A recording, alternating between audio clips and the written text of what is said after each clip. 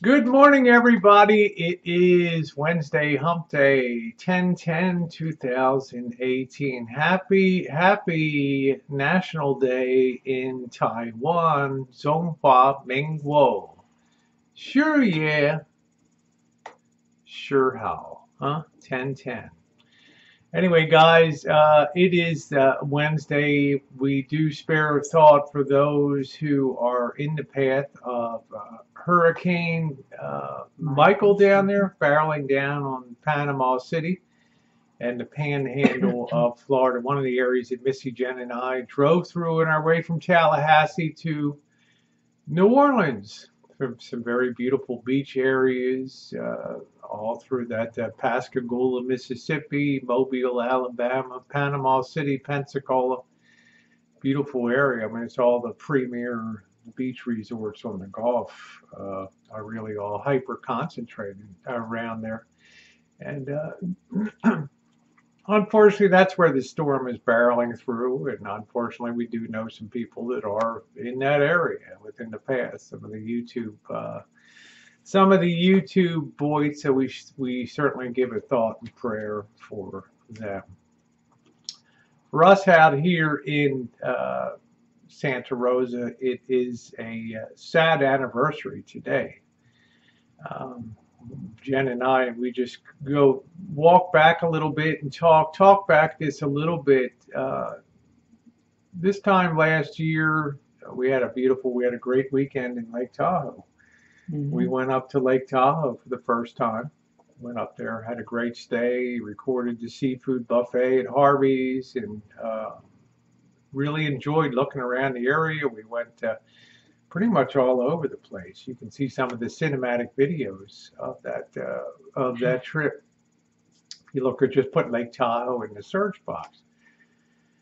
When we were coming home that Sunday from Lake Tahoe, and coming down out of the Sierra Mountains and across the uh, the uh, Central Valley there, the winds were unbelievable coming through. You could see all the all the bushes on the side of the highway, and it was one of those strange and rare onshore winds that was blowing from the northeast, and it was a wild wind. And I remember going to bed that night and I remember telling Missy Jen specifically, wow, this is gonna this is a really windy night tonight looking at the rancho.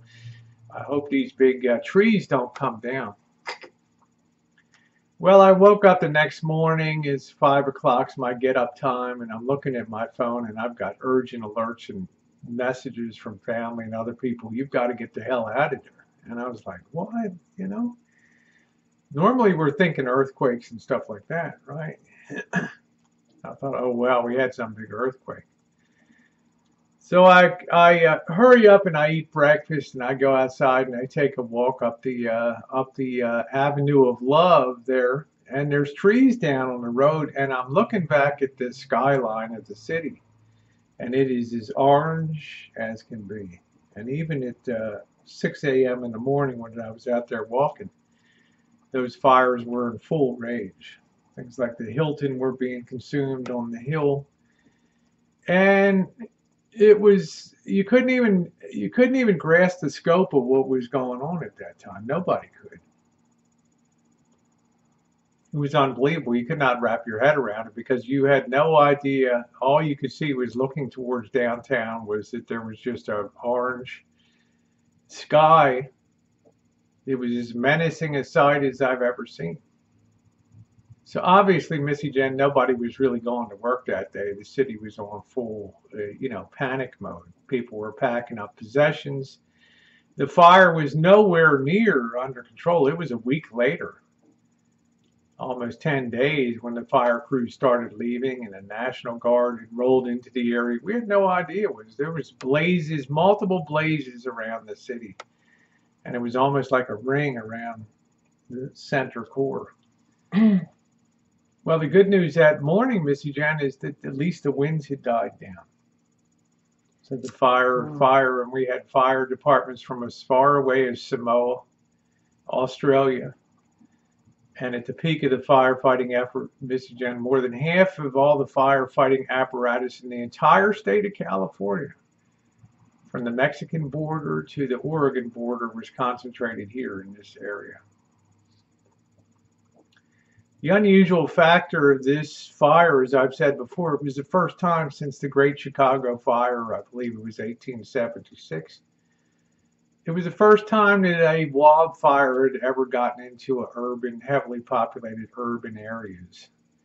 And as I've said before, uh, as this fire moved through the length of a football field every five minutes, consuming everything in its path, driven by 70 mile an hour winds, there was zero firefighting efforts that night and overnight. And most of the next day. search and It rescue. was all banging on doors, running around trying to get people to get the hell out. Unfortunately, 43 people didn't make it out of that fire. Husbands and wives jumping into jumping into swimming pools to try to save themselves up in some of the wealthier areas. As that fire came over the hills from Napa County and into Sonoma County, started over near Calistoga in Napa County came roaring eastward over the westward over those hills and it took out over 2,000 of the high priced homes. I mean, we're talking about fancy dancy homes overlooking the hills.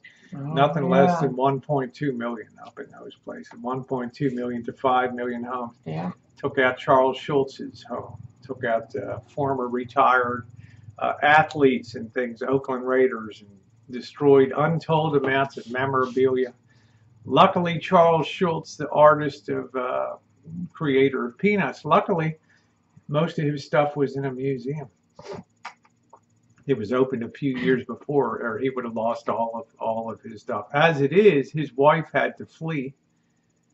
Jeannie Schulz had to flee at three o'clock in the morning. Well, she fled all the way to Santa Barbara, California, and I don't know if she's even been back. I'm sure she has in the area, but their home burned to the ground with probably untold amounts of memorabilia and more personal things in there. So that fire came over the hill and it, it, it wiped out everything in the valleys, the pocket valleys as it moved over and took out 2,500 homes probably before 2 o'clock in the morning. It looked like it must have looked like a valley of hell through there. And those hills with that fire being driven down over the hills, pushing westward. So you had an immediate 2,500 homes. Then it made its way into a place called Mark West Springs, which is another very large community on the west side of Highway, east side of Highway 101. Took out another thousand homes in that area. That's probably by 3 a.m. in the morning. And then, unbelievably, this fire got down to the Journey's End Mobile Home Park. It took out the Hilton.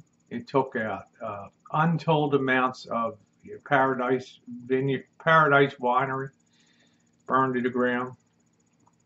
It just kept moving down the hill and advanced into a place called Journey's End Mobile Home Park, and it destroyed 200 mobile homes in there. Probably by 4 a.m. in the morning, it was all over except the shouting in that area. Then, unbelievable, unbelievably, despite the fact there was a 20-foot wall separating that mobile home park Yeah. from Highway 101. Highway 101 is three and four lanes each direction. That fire was so massive, it leaped across Highway 101. It had to be 150 feet. And it caught fire on the other side of 101 and laid waste to motels, restaurants, the Kmart and then it did its final twist of big damage. It got loose into a place called Coffey Park, 1,500 homes by 6 a.m. down to the ground. By that time, and if you haven't ever seen it, see it, I'm going to put two, two clips down here. The first clip is my morning going out there before there was any kind of police presence. There was only PG&E trucks telling people there's wires down and be careful. I was able to go out there and get some of that first video, first raw video of the morning out there. You can see that. It's about 10 minutes long, standing on overpasses. And still at that time, Missy Jen, having no concept what I'm looking at. I had no idea that, that uh, 6,000 homes had been destroyed in the core of the city. Remember the first time in history, really, that a wildfire had gotten loose in a major, major high density urban areas of cities. There was not a damn thing the fire department. So you can see that first video clip. The second video clip, Missy Jenna, is the Berkeley Fire Department, which is about 60 miles away, arriving in Santa Rosa about 3 or 4 in the morning. And man, by this time, they were mm. starting to put it in gear from San Diego, LA, all kinds of places, Oregon. And that guy was taking video with his cell phone camera riding in his fire truck and he looks to his right and everything's on fire coming up Highway 101. He looks to his left and everything's fire. And I remember, never forget what he says. We don't even know what the hell to save around here. Can you imagine a firefighter coming to the scene of a fire and just, you know, you throw up your hands and say, where do we begin to fight this? So I'm going to go ahead and link those uh, two videos down below. I don't want to say I hope you enjoy them, but I hope that you find them uh, very watchable. It was something that this city's yet to feel with the full effects. You can imagine the devastation of the tax base. The 80% of the homes were at least 500, 600,000 and above here.